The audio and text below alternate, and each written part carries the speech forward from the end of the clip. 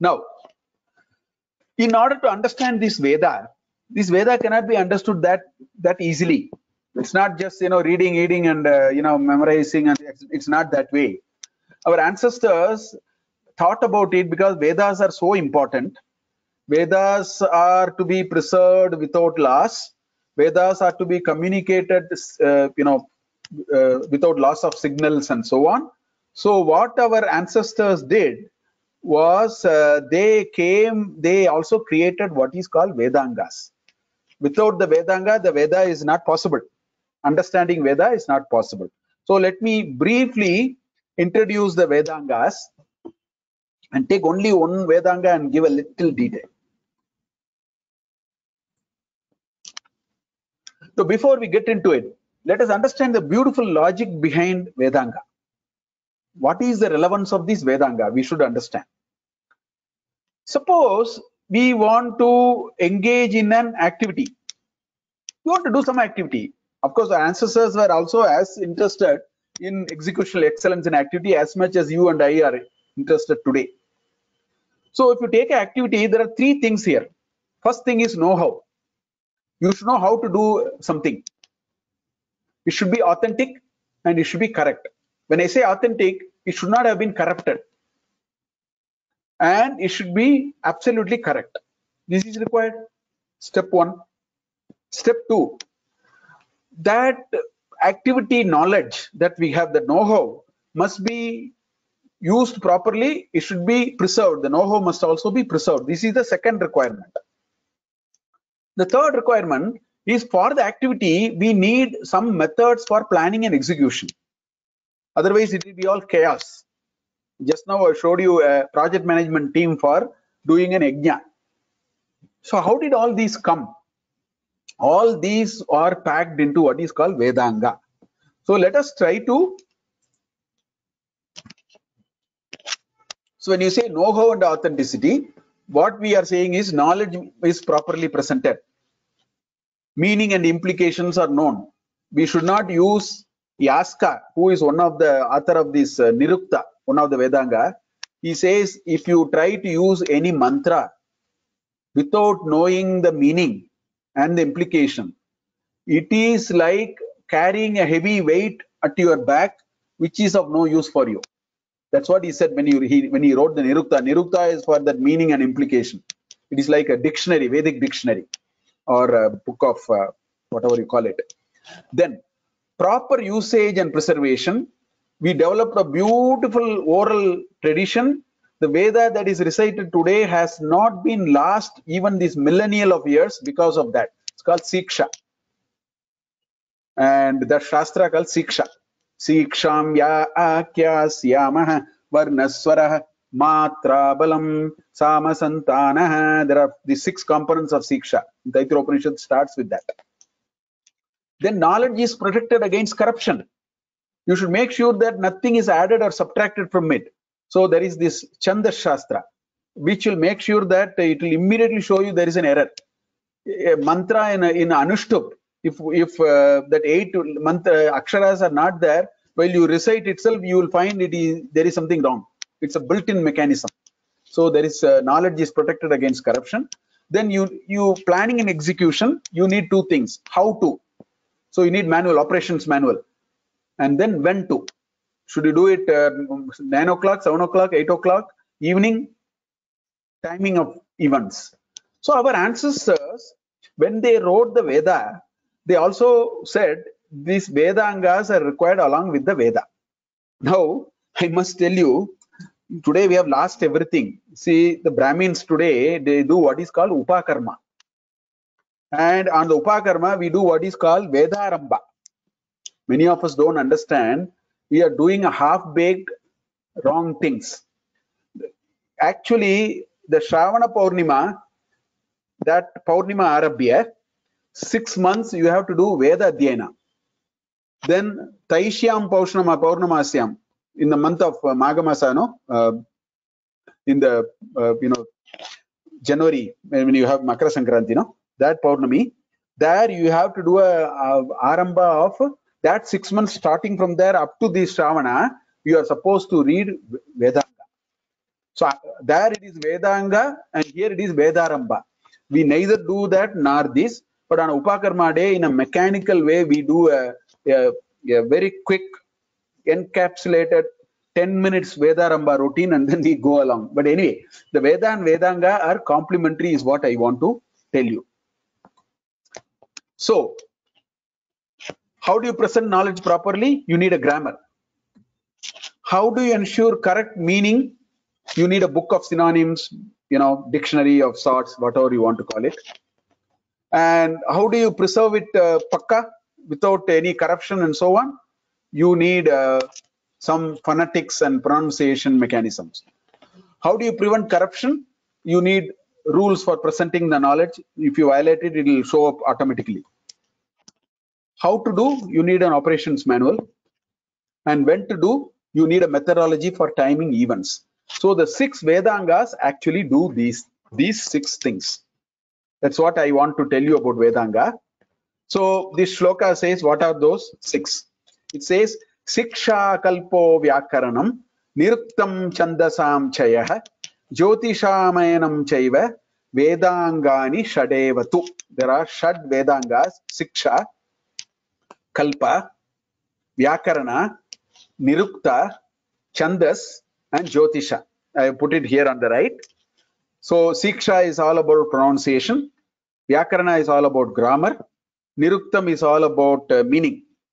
You know, the Vedic words have a slightly different meaning from the Bhasha words, the words that we use now. Then Kalpa, which is the operations manual as to how to do things, particularly the Yajna, and which was very important.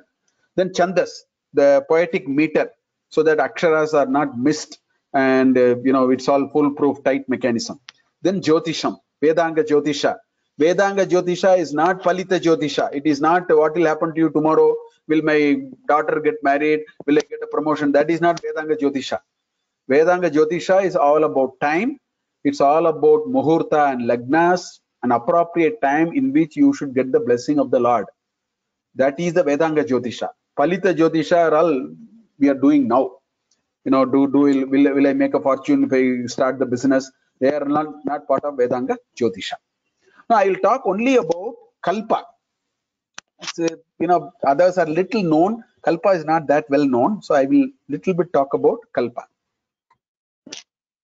So Kalpa is an operation manual. What does it mean? Let us take the Yajna. If you take the Yajna, these questions are there. How it should be done? Katam Karaniyam, Kaha Kuryat, who has to do, and uh, Kada, when, what has to be done? Okay. Then um, what mantras are to be used? Do you need any other gadgets? Kativaram, how many times you have to do? Are there any do's and don'ts? Vidhi and Nisheda. And if uh, if something wrong happen, how do you do the Nivarana? And uh, what kind of vastuni, what kind of uh, items are required? And are there any other norms and the rules to be followed? Itara Nayamaha. So this is written in Kalpa. Kalpa has what is called Grihya Sutra, Shrauta Sutra, and Dharma Sutras. Very extensively written. Sulba Sutra. Shulba means thread. And the way ancient Indians have used a piece of thread and a stick. If you use a stick and a piece of thread and tie the thread to the stick, you can generate only a circular shape. So with a circular shape, they have created complex altar shapes. So cyclical geometry, trigonometry, Indians were absolutely fabulous in the Vedic time. Foreign universities are teaching it for mathematics students. Katyayana Shulba Sutra, Vatsyayana Shulba Sutra, they are all there. We are not looking at any of those. Great mathematical treatises are available in Kalpa. Now I'll talk only about yajnas because yajnas are very important for Vedic life.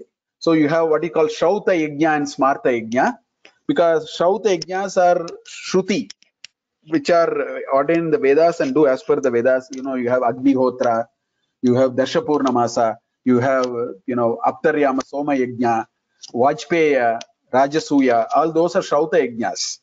Then there is Smarta yajna or Grihya yajna. You know, as a householder, they are all Smriti. House, householder have to do a few yajnas. Upasana, Nitya Sandhya Vandana.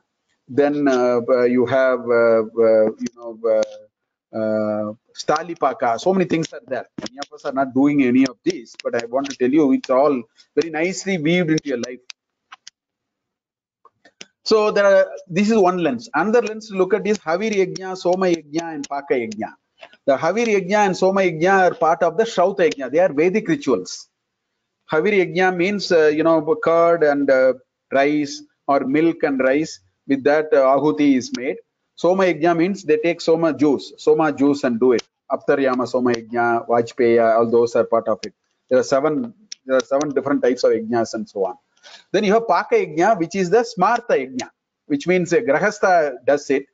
You know, for example, doing a, a, a, a Homa that we do, uh, you know, Sudarshana Homa or something, uh, Ganapati Homa. Then we offer uh, Brahma Yajna every day, Panchamaha Yajna. Then we do uh, Shraddha Karya. Those are all part of the Paka Yajnas. And all of them require Agni. Another way to look at is Nitya Yajna. As I told you, uh, Nitya Prata, Nitya Agnihotra Prata Kale Sayam Kale is a Shrauta Yajna. Nitya Upasana Prata Kale Sayam Kale is a Smarta Yajna. Panchamaha Yajna is a Nitya Yajna. Sandhyavandana Trivaram is a Nitya Yajna. Like that. Then there are Naimittika Yajnas.